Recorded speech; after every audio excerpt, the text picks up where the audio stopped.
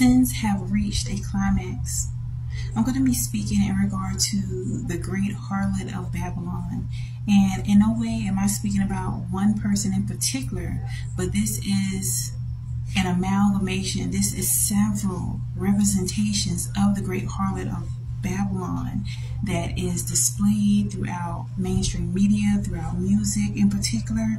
And it is time for people to turn away from the wickedness, the perversion, and really check what's going on inside of them that they think that just because there may be a lack of representation to be so thirsty, so dehydrated that you will take anything to satiate that need to see representation at your own detriment.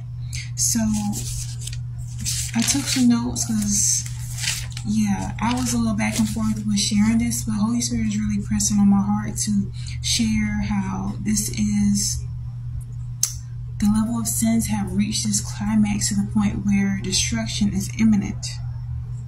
Okay? Let's go to Leviticus 19:29. Do not profane your daughter by making her a prostitute, lest the land be filled with prostitution and the land become filled with depravity. Proverbs 7 and 12. Now what now in the street, now in the market, and at every corner she lays in wait. All right, just with those two scriptures, we just want you to know that right now it's time to separate yourself from those mindsets, um, being entertained by things that you know are of no heavenly good and that is leading you further and further away, not only from God, but away from who you truly are, giving you some false sense of enjoyment, and it's really depravity. In scripture, it speaks about she promotes improper relationships between men and women. And the scripture also prophesies that the very things that the harlot of Babylon, the whore of Babylon, has been used to be the favorite pet. The beast system is going to also devour her.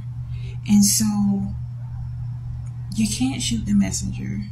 I'm protected. But if you have not paid attention and you may be so desensitized, you have to understand that this is self destructive.